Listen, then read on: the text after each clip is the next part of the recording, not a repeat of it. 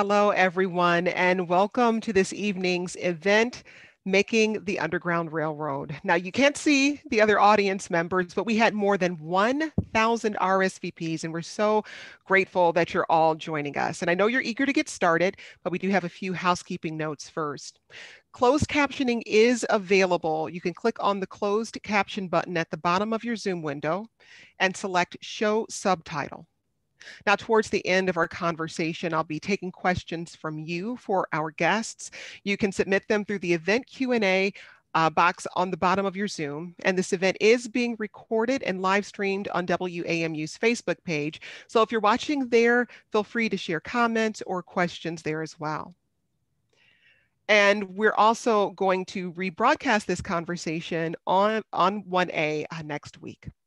And a very special thank you to our sponsors, Comcast Business, DC Lottery, DC Department of Housing and Development, and University of Maryland Global Campus. And thanks again to you. So let's get started. Uh, when the novel The Underground Railroad was published in 2016, it caught the world's attention for its stark portrayal of slavery in America. It reimagines the Underground Railroad as an actual underground railroad with train tracks and stations. And we follow the journey of Cora. She's a young woman enslaved on a Georgia plantation as she travels the railroad in a bid for freedom. Now, the Pulitzer Prize winning novel has been adapted into a limited TV series of the same name, and it's available to stream on Amazon Prime. And I am so honored that the author of Underground Railroad, Colson Whitehead, is joining us this evening. As I said, he won the Pulitzer Prize for the Underground Railroad, and his next novel is The Nickel Boys. Colson, welcome. Hey, howdy. And we're also joined this evening by Barry Jenkins, the director and showrunner of the television adaptation, The Underground Railroad. He won an Academy Award for 2016's Moonlight, which he wrote and directed. He's also the writer and director of 2018's If Beale Street Could Talk. Barry, it's great to see you. Hey, great to see you. Thanks for having me. So I offered a very short summary um, of the plot a moment ago, but I'd be curious to hear from each of you what the Underground Railroad is about from from your perspective. And Colson, I'll I'll come to you first. What won't a, a couple of lines of plot summary capture?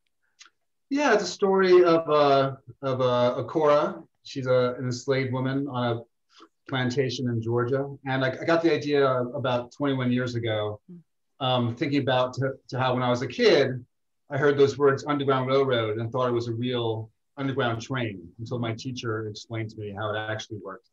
But the image stayed with me. And so I was sitting on my couch one day um, in Brooklyn, and I thought, wouldn't that be just a weird premise for a story um, if the metaphor was literal train? And uh, that's a premise. So I added the notion that each state that Cora goes through as she runs north is a different state of American possibility. Um, like Gulliver's Travels or Ulysses a hero has to solve an allegorical problem before he or she can progress to the next stage. And um, uh, when I first had the idea, I was sort of you know too scared to do it, so I put it off. And um, for about 14 years, and I figured out uh, where she'd run from, where she'd run to, run, run to. But it's really a story about becoming a person. You know, she starts off as an object, and in each state, she finds a new different notion of freedom that she tests and tests her. And uh, until finally, um, you know, she comes to some sort of place of resolution. How would you, how would you describe it, Barry? I know you've been doing it a lot the last um, three weeks, yeah, three months. I mean, the, the beauty of adaptation is you, have already done it. And so I think your description is all the description anybody needs you know, I, I, like to say I'm cheating. You know, Colson Whitehead is a MacArthur genius, and uh, he wrote this story. So I just piggyback off of what he says. But yeah, I, I would agree. Um, and I think the other thing too was this idea of um, charting the story of Black people in America, but also you know myth building, but out of a very grounded, truthful experience. I think mm-hmm. that's really what the book was for me. It's why I thought it could really translate to visual language. Now, Colson, you said you were afraid to write it uh, at first. Why? I was I was 30, which uh, by society standard is uh, actually adulthood. But I felt very immature. You know, I still went out every night, and I didn't think I was a good enough writer to pull mm-hmm. off the um, the subject in the technical sense. And I think I was mature enough to write about slavery in the way it needed to be um, talked about. Mm-hmm. Um, you know, when I finally decided to pull the trigger, I realized that I've been putting it off for so long. You know, I write other books, pull out my notes, and say, no, I'm not ready. That it seemed finally that um, the book I'm scared to write is the one I should be doing, which sounds very self-helpy. But sometimes um, when you need to push the next kind of level in your in your work or your life, uh, it can be it can sound a bit self-helping. Barry, what was your experience of reading the book?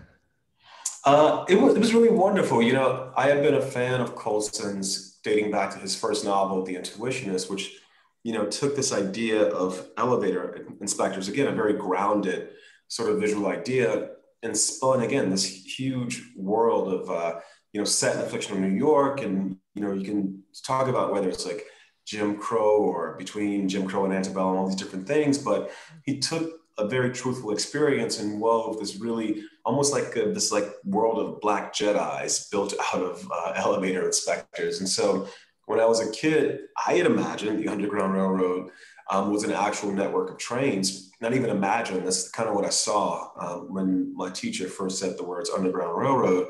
And so just just combining those two experiences you know, knowing what Colson does with very grounded imagery and just hearing the conceit that he had written a book about the Underground Railroad, I kind of had an idea of what it was. And the really lovely thing was, as I read it for the first time, that conceit was great. And it was like the spine of the text. Then there were all these other things, you know, this idea of Cora, you know, on this journey to really reconcile the sense of abandonment that she feels from her mother. Just the idea of parenting uh, throughout the book and the generational legacy, you know, of these sort of like family connections, I was like, oh, this is really rich. You know, it felt like it was about the one thing. If it was only about the Underground Railroad, I don't know that the novel would be successful. But I think that railroad is kind of like the spine um, that all these different things hinge, hinge off of. And I just started seeing there's so much here, so much possibility for visual storytelling. Yeah. Well, let's play a scene from the series. Uh, here's Cora, played by Thuso Mbedu. She's talking to Royal, played by William Jackson Harper. Now, Royal helped Cora escape from the slave catcher chasing her and brought her to a Black owned and operated farm in Indiana. And the farm is planning to vote on whether Cora can stay. I can't speak for the others, but you certainly got my vote. It ain't yours I'm worried about. That's so. Yeah, it's nice to be here, but I'm still just a runaway from Georgia. But see, you, you not on Randall anymore, remember? You free. How so? Ain't no way to prove it. Man lost my mom. Then me. Ain't no way he ever given up on finding me. Well, you've been gone long enough, gone far enough. Ain't no way no harm from Georgia's gonna come to you. Not while I'm here. Land is property. Tools is property. I'm still property. Even in Indiana. Say so right here. That may be true. But this farm make enough money to buy out all the folks on that plantation and then some. Hell, I'd just as soon write down and settle your papers myself. Why ain't y'all then? Why ain't we what? Why ain't y'all gone and bought out all them can't escape chains?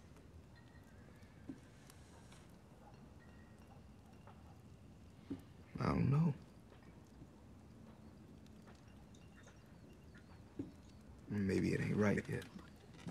You know, nothing lasts forever, especially for black folks. Maybe we just holding on to what we can hold on to. Protecting our own and growing all the while. Guess that make Mingo right about me then. I ain't one of y'all. So why hold on to me?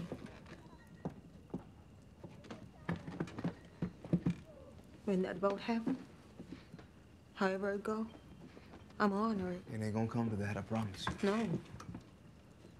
Don't promise me nothing. Everybody keep telling me how special I am. What good is a railroad if only special folk can take it? What good is a farm full of freedom if only special folk can till it?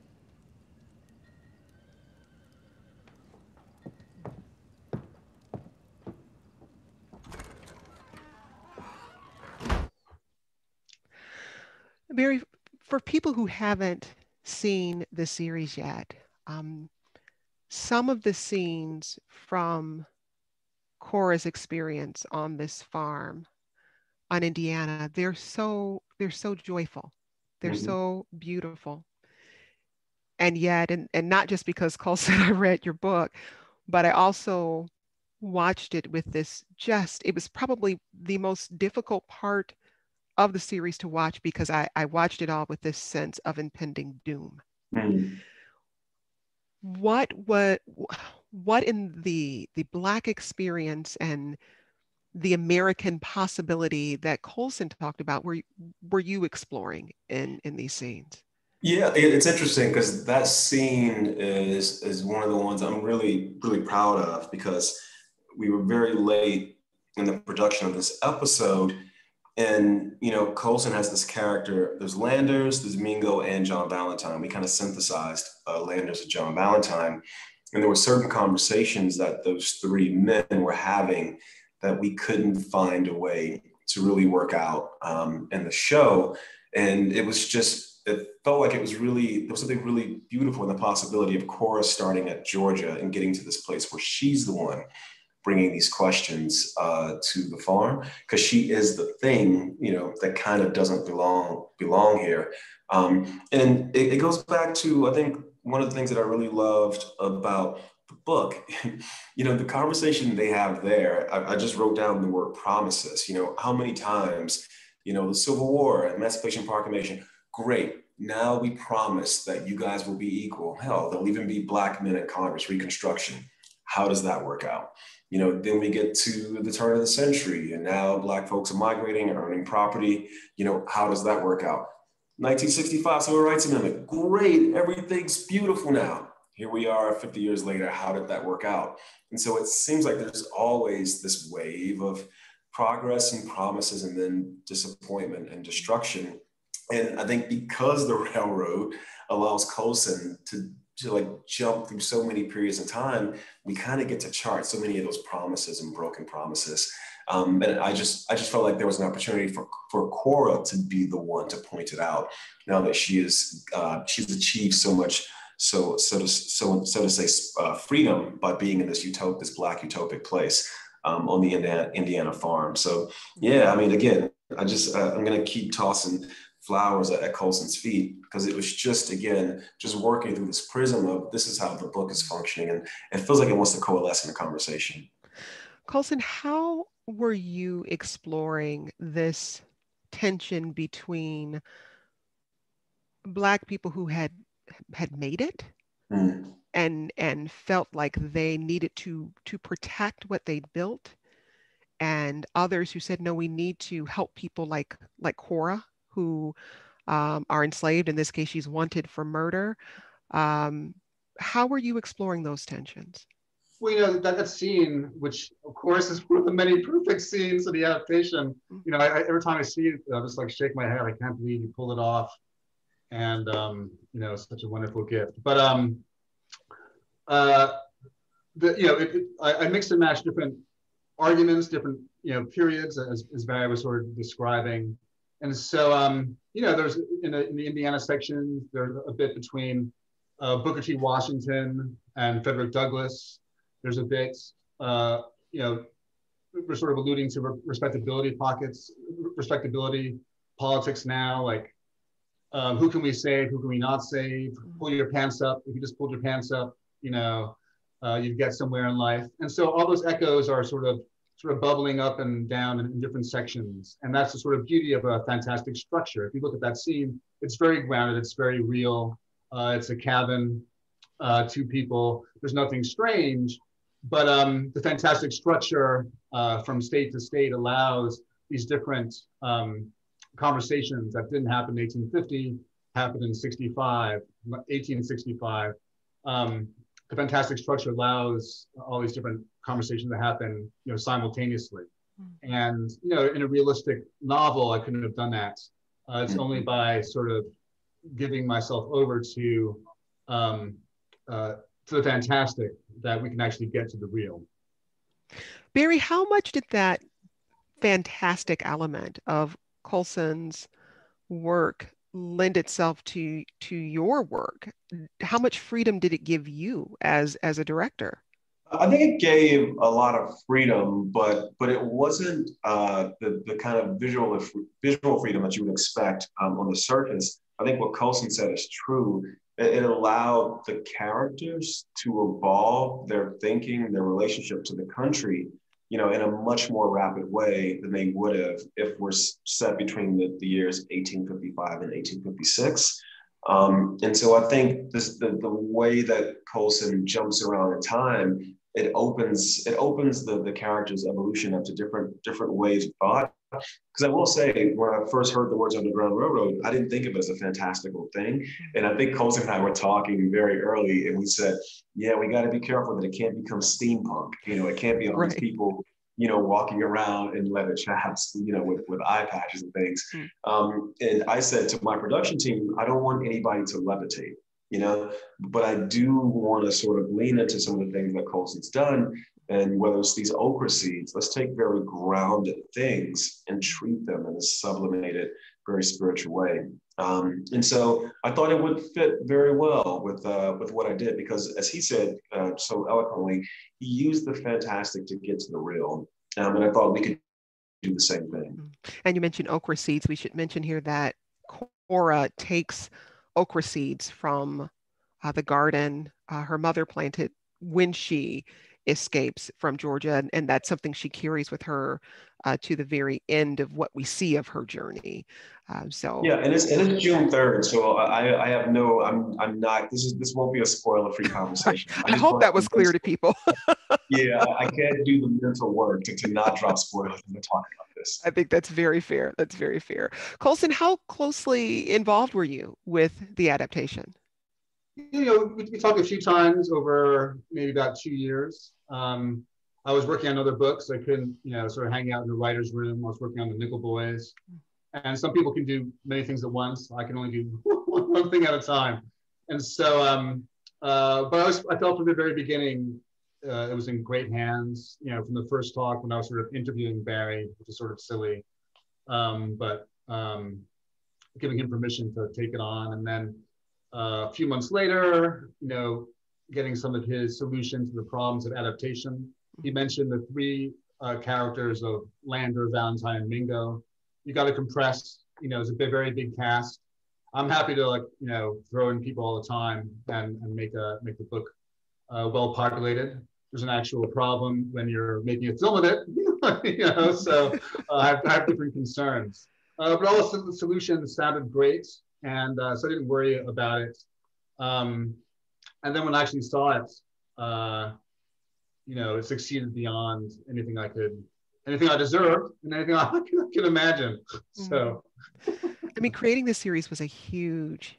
It was a huge task. According to the New York Times, daily production costs uh, could reach nearly $1.5 million. Uh, more than 300 people spent uh, more than, I think, of 16,000 hours building the sets that included this 15 structure plantation, more than 3,000 costumes. I mean, Barry, just from a logistical standpoint, how much of a, of a lift was this? Uh, it was uh, definitely the, the, the, most difficult uh, creative task I've ever undertaken.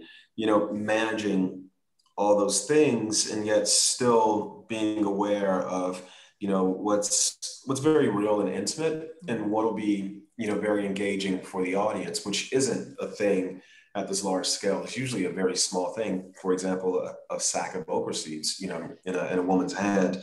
Um, it was tricky doing both those things at once. But the good thing is, you know, I've been working, you know, with all my friends who I met in film school at Florida State University 20 years ago.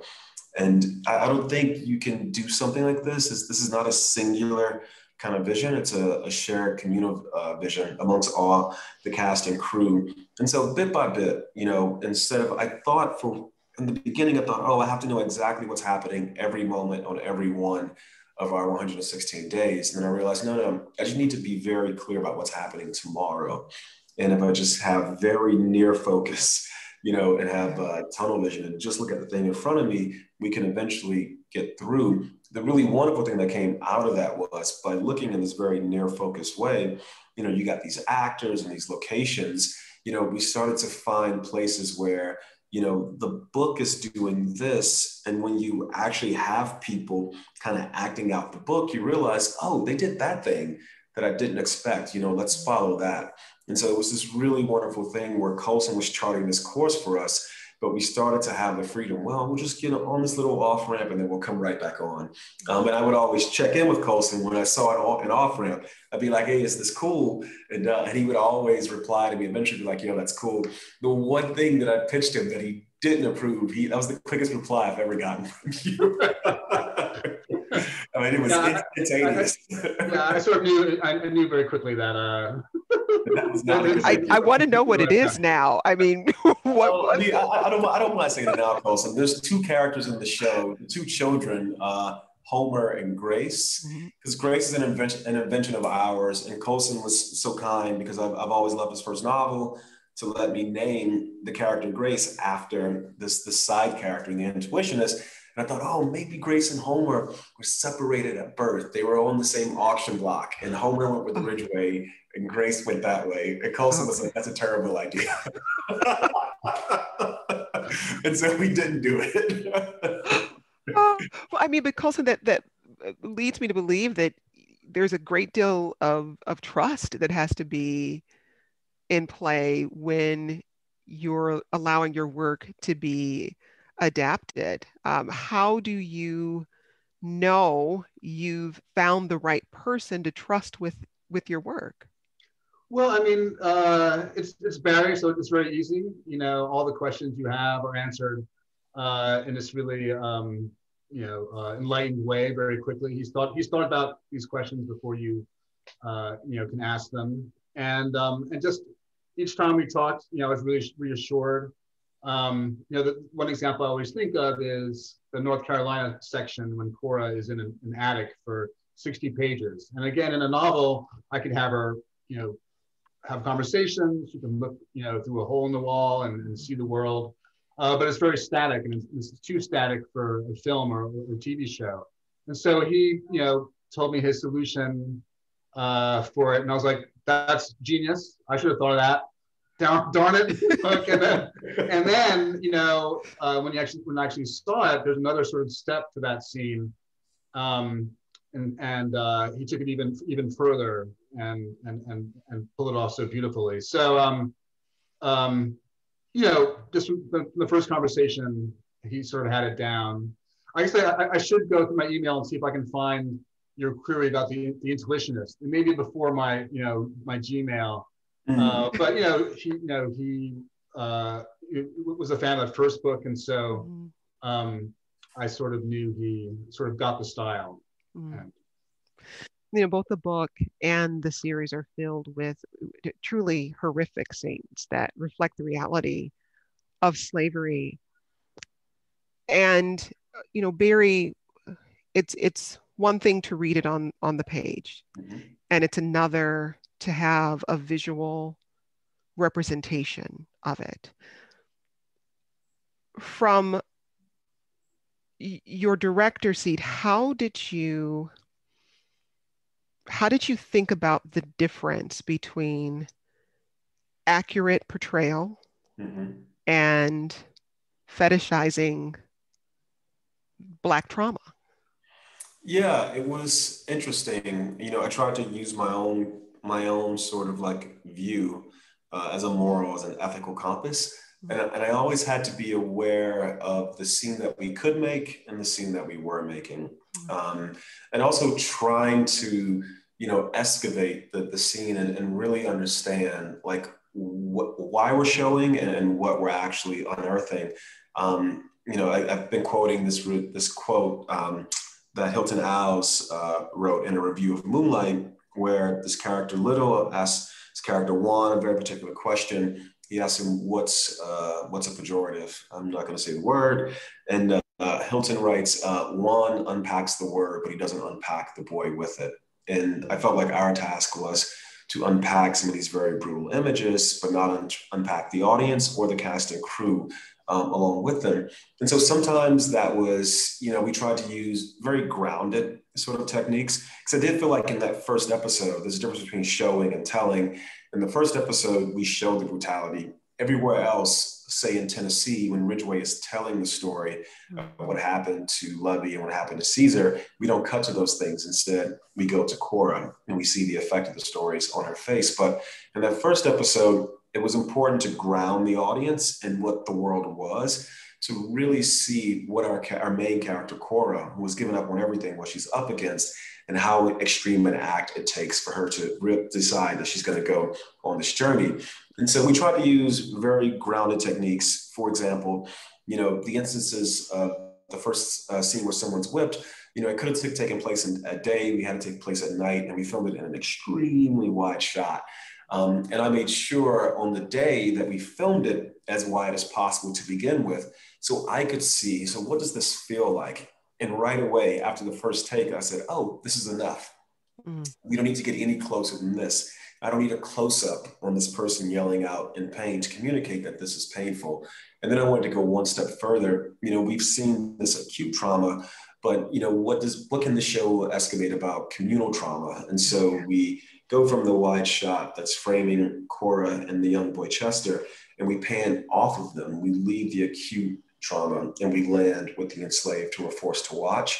And so I was trying to always, you know, unpack my motives, you know, unpack what I'm showing to the audience, and then really dig in and go, okay, what else about this moment can I say to hopefully reflect, you know, on our present day, you know, how it's not just about these people that we see on these videos, you know, being attacked and being aggrieved, this thing affects everyone, um, all of us, especially the folks who have to bear witness. And so it was always working through that. The sequence with Big Anthony, oh, it was so tough. That's the hardest thing I've, I've ever had to do. Mm. Um, and, and yet, you know, I felt like it was important because A, these things happened. You know, Colson did a ton of research uh, that he shared with me. I did research and many worse things than those things depicted in the show actually happened.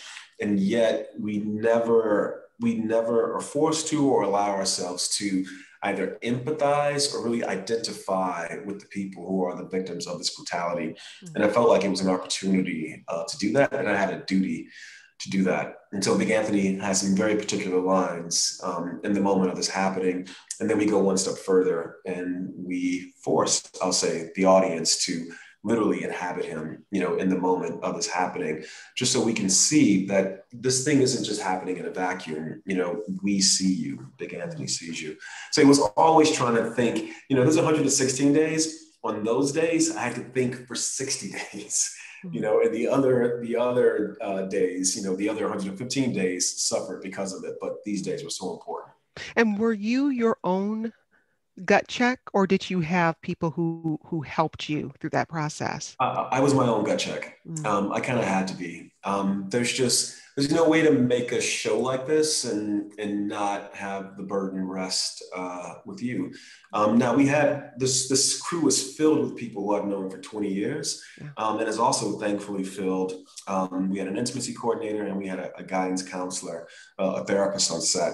And so, and the actors themselves were empowered as well to really, everybody had the right to say, this is either too much for me, or I think this is too much for the audience, or too much for the scene, et cetera, and so forth. But um, I, I felt like I had to be my own compass.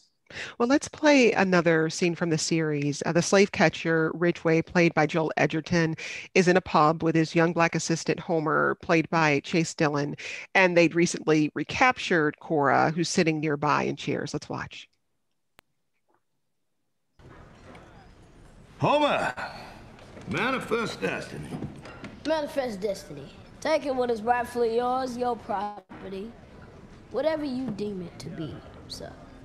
And all the others taking their places so you could do such taking. Very good, Homer. Thank you, sir. Very good. And whether it be the, the red man or the African or the, or the Mexican, giving up themselves, giving all of themselves, so that we can have what is rightfully ours.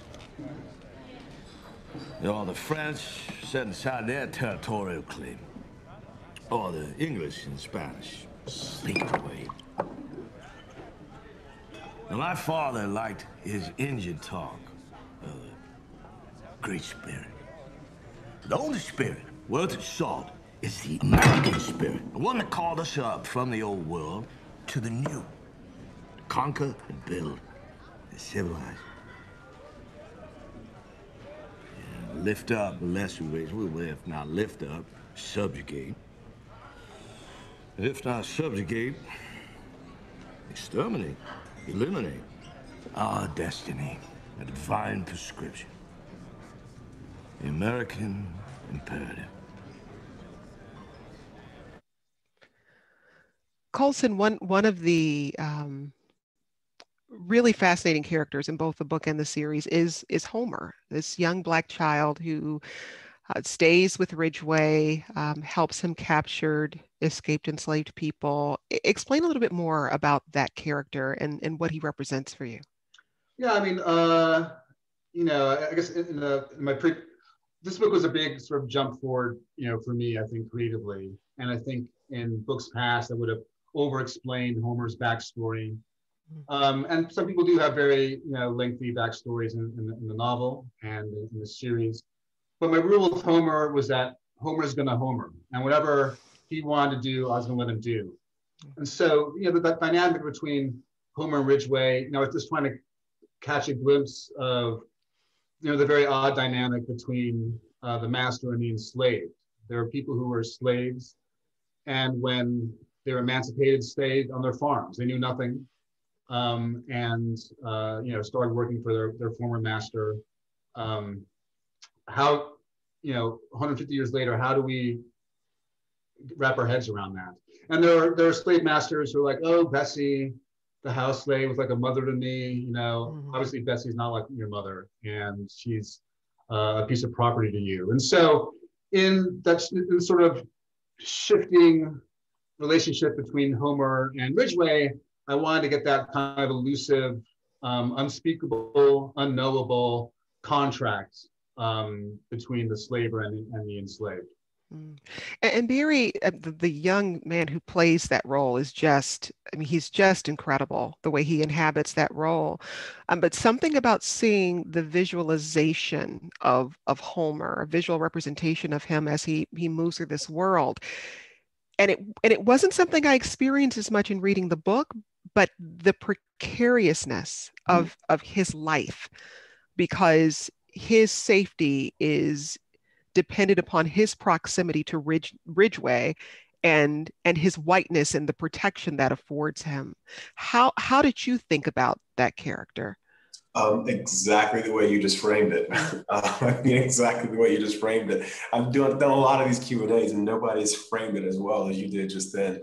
Um, I think that's exactly it. On, on set, on set, um, you know, it was interesting. Joel Edgerton, who plays Ridgeway, is also a director, um, and when you're dealing with you know an actor as young as Chase, who was 10 years old at the time of filming, Wow. their scene partner is oftentimes they're in the flow helping you um, direct the, the other actor through the scene or guide them through the scene. And for me, there's something, and you know, Chase is new, and so he's looking up to Joel, and so there's a real thing happening between them in the making of the show um, that, fortunately or unfortunately, feels very real. You know, in the presentation of these two characters, um, it's a very dark, seductive uh, relationship because you can sort of project out 30 years from now or 40 years from now, you know, if somehow in Reconstruction, you know, Homer has managed to slip his way, you know, into some governorship or mayorship or, you know, into the halls of Congress and the House of Representatives,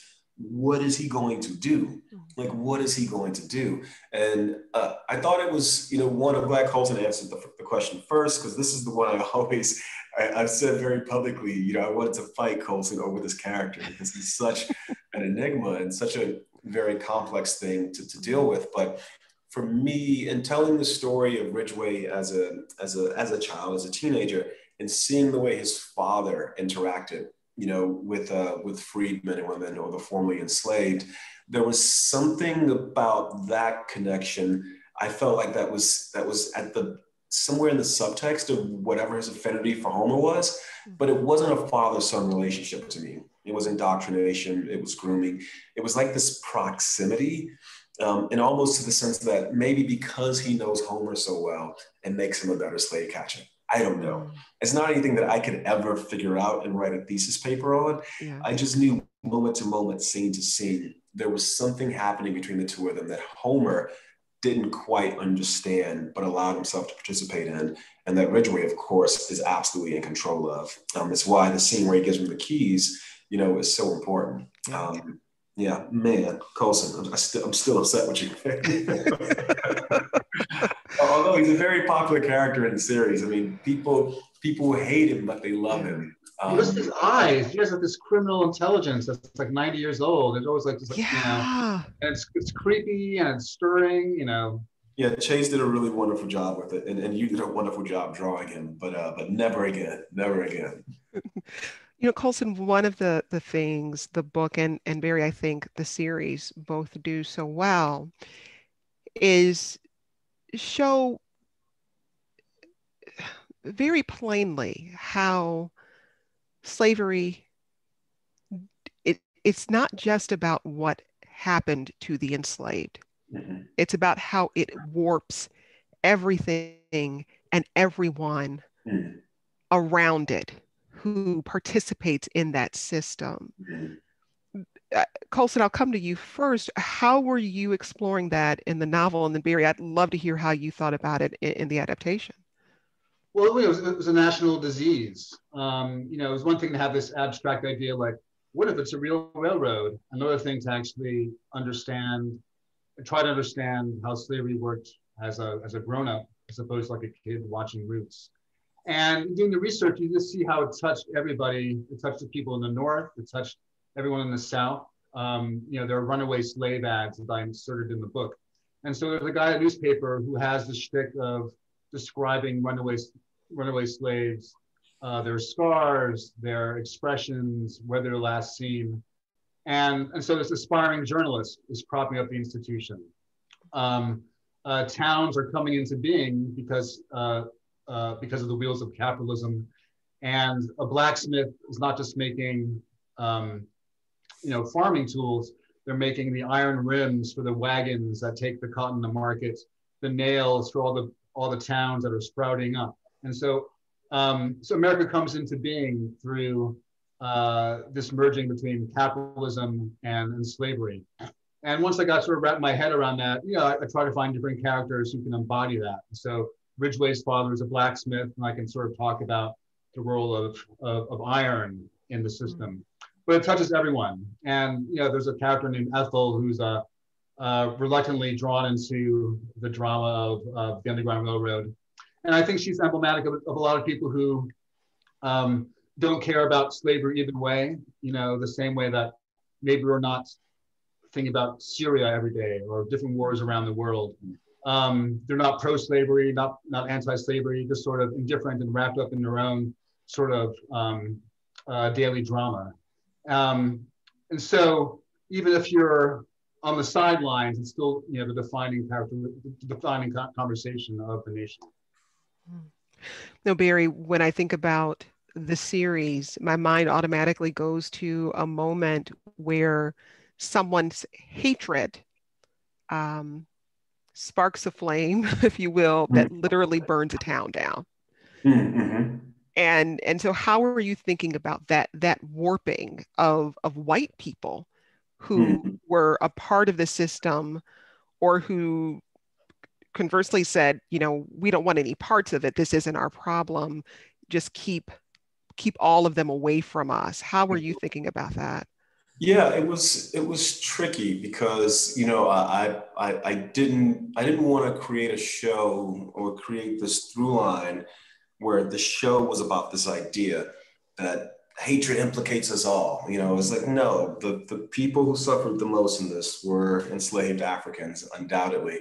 Um, and yet I loved what Colson did in creating the, the North Carolina world, um, which there's a runner in the, in the book that we kind of touch on with the Irish being brought in yeah. to replace um, the Black folks, um, which is uh, rooted in a very particular aspect of American history. Um, but then it was, it was, as you sort of like pitched in the, in the question, it was clear to me that this town itself and the town we found to, to set this in, because it's one thing to read, but then visually to see it, it's it's literally closed off. It's a complete ring, a complete circle, you know, with all this energy focused on this place of death and the center. And yeah, it was clear to us that there is no, there's nothing can come from this, but but hate begetting more hate, begetting more hate. And uh, it was cool because we had created this character, Grace Fanny Briggs, and I, I, I knew that Cora needed to leave her behind to learn the, the, the, the story or the notion of sacrifice that eventually we learn, um, you know, Mabel was sacrificing for everyone. Mm-hmm. She had to leave the little girl behind, but I felt like I couldn't bring this character into Colson's narrative and then leave her behind uh, to burn to death, to burn to death. I was like, no, we have to get her out. And it was like organically, well, how does that happen? Well, this town is just full of hate. And thankfully, just pure luck, it's a, a town built of nothing but wooden structures. And so Mark Friedberg, our production designer, who I should say, you played that clip uh, from the saloon, that's a set. And Mark built that from the ground up. That's why it looks the the light and the candles, all those things. Even the outhouse is actually out back, like on that set. Um, but I was talking to Mark about well, what can we do to destroy this place? And you know, Mark Friedberg, he just he just knows everything about history. He goes, well, a town like this, if one window catches catches fire, the whole thing's gonna go up. Right. And I thought, oh. And then I went to James. I was like, okay, we are going to burn this town to the ground because in a way I think, and, and maybe Colson can speak to this, but you know, and by jumping through all these different periods in history and seeing how this hate keeps manifesting itself and ruining the lives of all these folks, and now here we are, 2021. Some of the same hate is still with us especially over the last four years, it's just systematically been undoing, you know, all these very tenuous bonds we've been building. Not that I'm saying the episode is about, you know, America burning to, to the ground because of its own self-propelled uh, uh, hatred, but in that sense, such a small community, there was no other place for that animus to go. Um, and yeah, and we actually end with, you know, Fiona, you know, sitting at the altar. And it's like, yeah, look at where this hate got you. You know, look at where it's gotten us all. Mm. Um, but Colson did that. I just, I just, I just, I just took the baton. It's all Colson. well, I want to turn to some questions uh, from our attendees. Uh, Louise asks, the music, both ambient and composed, is haunting. Please talk about that aspect of the series. Barry? Uh, yeah, Nicholas Britell, our um, the composer on uh, this, If Beale Street Could Talk, and Moonlight um, just did a really wonderful job because of the, the pandemic. Um, Nick actually moved to LA to create the score for, uh, for the show. Typically, he's in New York and I'm in LA. And it was great. We had this little testing bubble. And so we would go from the edit, and then 10 minutes uh, drive, I'd be at Nick's studio. Then 10 minutes drive, I'd be at the mix stage. And so it was this really wonderful process where they could be a sound uh, an ambient sound on the mix stage, mm. and I could send it to Nick, get in the car, go to the studio with him, and we could then be scoring in the key, you know, of a mm. sound from the environment. Um, it was a really very involved and fluid process, and the, the beauty of that was in the writers' room for the show. You know, shout out the writers, uh, Jackie Hoyt, uh, Jihan Crowther, Allison Davis, Adrienne Rush, and Nathan C. Parker, son of the British director, the late British director, Alan Parker. We were trying to unpack this book. We had this rule we can't call Colson about shit that we can figure out ourselves. and so we kept trying to come up with a working mythology for ourselves of why does South Carolina look the way it does? Mm. You know, why does North Carolina look the way it does? And he gives us an Easter egg in the first chapter when the station agent says, "Oh, there's two trains. One's going this way, one's going that way." You know, you won't know which way it's going until you get on it. You're like, "Oh, if she got on the other train, she wouldn't end up in South Carolina, or she'd end up in South Carolina, but it'd be a different South Carolina." Mm-hmm. So we thought, "Oh, Cora's manifesting, you know, these states. She gets to North Carolina, it's damned because she doesn't want to leave the things in South Carolina behind." And because of that, I was like, "Oh, Nick, the the score every time she gets to a new state." It's got to be a manifestation of the world around Cora. And so, yeah, it was really cool. And it was this, again, this lovely process of what's in the environment because you couldn't record music in this time period. And how can that become music? You also make this decision at the end of each episode to sort of jolt us back to the present mm-hmm. with with a modern song. Mm-hmm. Talk about the, the song choices there. Yeah, it was a mixture of therapy for the audience because uh, you know it's a very immersive journey, and it's important to realize you were watching this in 2021, you know, not in 1855. And I thought dropping a, a contemporary needle drop only at the end of episodes, never in the middle, it would help underscore that point. But the, the, the way it started was at the end of the first Indiana chapter, you know, Cora has just said goodbye to her greatest love and Caesar, and then she's walking into Royal's cabin, and it's like a heartache. It's just like pure, pure heartache. And as she was walking out of the door, we were in the edit. I started to hear the phone ring uh, because this song from Groove Theory was very popular when I was in high school. Mm-hmm. I thought, oh, it's so weird that there's a phone ringing right now. But here's this woman, this black woman in 1995, singing directly to the heartache that my main character is experiencing in 1855. You know, how is that possible? There's legacy, there's lineage, there's a spiritual connection. And I thought, oh, this is great. And then we just started chasing it. You know, it actually became a, a fun gamut and post to figure out what's the best song to end each of these episodes. Well, if I can add, you know, when I work, I play like a, a 3,000 song playlist. And, um, uh, you know, I was watching the first episode with my wife and we were so moved, like he, he really broke the code. And then OutKast B.O.B. comes on. And I've been playing that I played it a hundred times when I was writing the book. It's in the book, and, and somehow you got it. And then Clair de Lune came on in, cha- in, in uh, chapter 9 mm-hmm. and wife was like, "Did you tell Barry that Clair de Lune is on your playlist and you play it all the time?" And I was like, "No, it's just sort of in there." And so you picked up on all these, uh, the soundtrack of you know when I was writing the book. Well, we, we dug deep, man. We, we, like to say we got inside your brain. Well, Michelle wants to get inside your brain, Colson. Um, she writes, as a Black woman, I find the character of Cora so profound in telling a story about us that's rarely found in books or on the screen. How and why did you choose her as the protagonist? If you had the story in your mind 20 years ago, you were way ahead of the times. So how, how did you choose Cora as, as your protagonist? Yeah, well, I think you have to mix it up. You know, I'm, I'm supposed to inhabit different kinds of people uh, for my main characters. And um, my first novel has a female protagonist.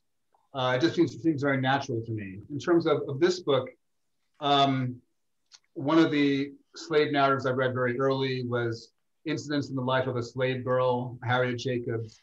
And she writes very movingly about the dilemma of a female slave. When um, a slave girl becomes a enslaved woman, she enters into a new, more terrible form of slavery. She's now sort of subject to her master's sexual desires if she wasn't already. She's supposed to have a lot of babies because babies are money or property. Um, so it's a different dilemma than faces the male slave. I just seemed to pay homage to Harriet Jacobs uh, to explore this different dynamic. Um, I want to test myself as a writer, do different characters I haven't done before. And I just had a, a bunch of male protagonists in a row and uh, in previous books. And so a voice in the back of my head was saying, you know, don't do the same crap all the time, Colson mix it up. So it's practical, it's pushing myself and then trying to um, uh, explore a different aspect of, of, of, of, slavery. Well, Barry, we got this question um, because, as we know, your film, If Beale Street Could Talk, is also an adaptation. In that case, it's a novel by James Baldwin. And Dylan asks How did adapting Colson Whitehead differ from adapting James Baldwin? Oh, the, the the biggest thing was, you know, Mr. Baldwin unfortunately is not with us, and so I couldn't bounce bounce things off of him. Um, and so I felt the I felt the necessity to to to, to not alter the text. Um, you know, because I couldn't be in dialogue uh, with him to, to check on, you know, whether what those alterations would mean, um, with the exception of the ending, which eventually, very late in the process, I decided I had to amend. In this case, you know, Colson's here, um, and so I could always check in with him, you know, and it was great because uh, we sent Coulson, we call it like the Bible or the format for the show before we even began writing the scripts. And, you know, he didn't go, this is terrible. You can't do this. And so there was always this, uh, this sense of trust, but in that trust, there was also freedom. Um, and so, yeah, it was really one, you know, Colson's been very clear about saying, oh, I wasn't that involved in this and that. But um, but uh, I felt like he was completely involved because if there was something that I had doubts about or questions about, I would ping him and send off. And I think just knowing that that, that possibility was there, it really freed us, you know, say myself and the actors and everyone, to really just be open about what was possible. Well, here's a couple of questions we got. Beatrice asks, why did you feel the need to create a backstory for Ridgeway as a boy? And another attendee asks, why focus extensively on Ridgeway's story during the middle of the series? I found myself being resistant to caring about him. I'm a Black person. Um, Barry, yeah, your thoughts? I, yeah, I think uh, I think you should be resistant to caring for him. Um, you know, I wasn't afraid to. Typically, when evil arrives at our doorstep, we just accept it as implicitly evil. And I think because we don't look beneath and see what the root of that evil is, you know, where it comes from, we maybe aren't able to spot it in other places. You know, before it actually metastasizes uh, and forms. Um, I wasn't afraid to go into the backstory of this character. And to be honest, the flashback to me is less about him, you know, and it's more about this organizing principle um, of the Great Spirit, which is something Colson wrote into the book that I was fascinated by. Um, the other aspect of it too is the second of those three episodes to me is not about Ridgeway at all. You know, it's about Jasper mm. and the journey that Jasper and Cora um, go on. It's really interesting. Ridgeway kind of is a side character in his own narrative. The only reason they're going to Tennessee is they need to go see his father, and yet, you know, he doesn't have any power in that episode. I feel like Jasper has all the power. The other thing that was really interesting to me was, and it's difficult to tell, but I think this is realistic you know, Cora is a very young person. You know, she's maybe 16, 17, 18 for the majority of our narrative, but because of the lives these folks live, the years just weigh much more heavily on them. So in that flashback, the Great Spirit, Ridgeway is essentially the same age that Cora is in the main story. Yet look at how different the world is for the two of them you know, I thought showing those two things in opposition to each other, actually not in opposition, just presenting them, because I'm not making any judgments. But I think it makes it very clear the world is very hard on these folks and not so hard on those folks. You know, for example, we've been referring to, and Richard refers to it as, you know, Cora's wanted for the murder of a child. And yet, if that happened today, we would say, oh, it was the stand your ground law you know, but laws like that have rarely or if ever applied to someone uh, of a character like Cora. Um, and so I think all these different things to me were very interesting to explore. And I, and I felt like going into more of the text of Ridgeway, it didn't decenter our leads because that second episode, which Tennessee was meant to be one episode when we filmed it, whoever asked the question. Hmm. Uh, but the actor, Calvin Leon Smith, who plays Jasper, did such a great job that he began to take that episode he literally reoriented how we filmed it, the pace we filmed it at, so that we got in post and realized, oh, there's an entire Jasper episode here. Mm-hmm. I'm kind of proud of it because we saved a lot of money. We filmed two episodes in the time it took to film one, but only because this character just the strength, the power, the dignity of Jasper was so large, it just overwhelmed everything else. And so I don't think it was three Ridgeway episodes. I think of it as maybe one and a half, because that second was all about Jasper. We have time for just a couple of other questions. And, and I wanted to make sure to ask you about these shots that are interspersed through the mm-hmm. series of enslaved Black characters who have died. In, in some instances, they're alive, but they're standing still, they're gazing at the camera. What were those moments about? What were you saying? Yeah, uh, some of it was just, uh, I mean, they, they happen on instinct often when we're on these sets. And they happen quite often on this set because there were so many really wonderful people, our advisors on the ground, Mr. and Mrs. King, Miss Wendy, uh, all of whom appear throughout the show, uh, not main characters, but all uh, who appear. there were these Civil War reenactors, these primarily white men who they preserve all these muskets and these uniforms. They go to Gettysburg and reenact these battles. There are also black folks in the Deep South who preserve those, those traditions. And when someone like me comes down to make a film, they embed, you know, with our cast and our crew, and particularly our background actors. And so we filmed this show entirely in the state of Georgia. I'm walking on these plantations. Mark Friedberg, our production designer, rebuilt the, the slave quarter on this plantation because of course that had been allowed to uh, erode, but the plantation house was still there. And so there were moments where I realized I was walking by my ancestors. I mean, I was just literally just seeing them fully embodied. And I felt like it was an opportunity to, uh, to, to capture their portrait, you know, to look at them and in a way allow them uh, to look at us. And so it would just randomly happen. And, and as we were going through the show, the one thing I knew was when Cora stands over, I'll just say him, I won't spoil it. When Cora stands over him and points at that thing, we're going to see so many of these faces. And that's when I realized maybe I'm gathering for that purpose. Um, but then I also started to think there are just so many of these folks who we haven't had the opportunity to see. Yeah. And, you know, Colson did one kind of seeing and creating the book. I was doing this other seeing and adapting it to the screen. And then with this crew and this set, all these resources, there's an opportunity to do this third kind of seeing, uh, which is these portraits. And it was just lovely that some of them made it into the show. Hmm.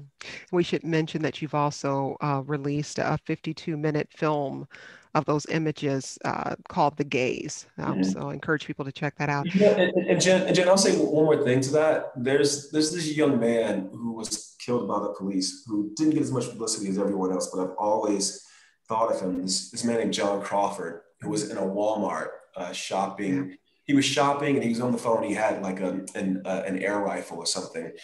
And it's an open carry state. And all I've ever seen of him was the surveillance video uh, where he is shot down by the police. And I've always wanted to, I just, I just always wanted to see him. Mm-hmm. And this is maybe five, ten years ago. Um, and I just think of all these people um, from our past, all our ancestors who we've never been allowed to see. And so there was just something in the, the, the, the, essence of all of that that I thought, oh, it's worth not filming a shot for the actual show right now to pause all this machinery to just see these people. Yeah. Well, I want to wrap on this question from Tony, who asks, what are we to believe happens to Cora as she goes on? Is she safe now? Will she find a place for herself? Uh, so, Colson, I don't know how how you think about Cora's journey, or I, I don't think you're probably interested in, in projecting, you know, what we should think about it. But I am curious how you imagine Cora past the mean, last page of the book. Yeah, I mean, um, no matter where she ends up, she's in Canada, has a family, uh, moves to San Francisco, wins the lottery as a rich woman.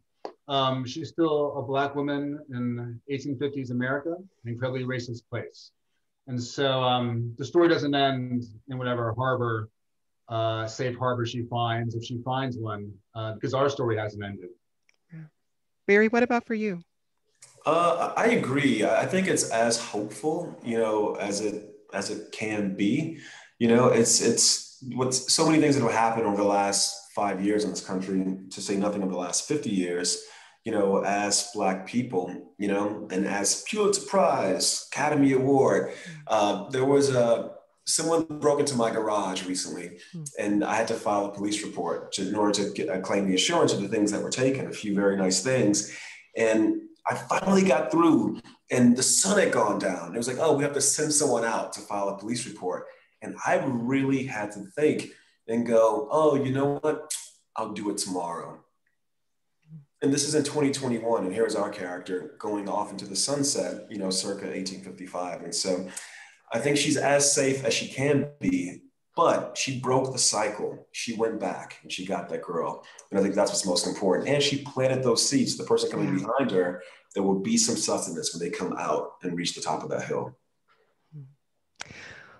Well, I want to give my thanks to Colson Whitehead, the author of many novels, including The Underground Railroad and The Nickel Boys, both of which he won Pulitzer Prizes for, and Barry Jenkins. He's Jenkins. He's the showrunner and director of the limited series The Underground Railroad. It's available to watch now on Amazon Prime Video. Colson, Barry, thank you so much. I really enjoyed this conversation. Thank you. Thank you. Yes, our pleasure for sure. And thank you for participating in this evening's event. We hope you'll take a minute to fill out the survey. It'll appear on your screen and it'll help us improve our virtual events uh, in the future. And we also like to say a special thank you once more to our sponsors for this event, Comcast Business, DC Lottery, DC Department of Housing and Development, and University of Maryland Global Campus. And thank you. Your support makes these events possible. So if you've never supported WAMU, please consider making a donation to support other events. This evening's event was produced by 1A producer Avery Kleinman with production and coordination support from Yanlin Chang. That's it, everyone. Thanks so much and have a great night.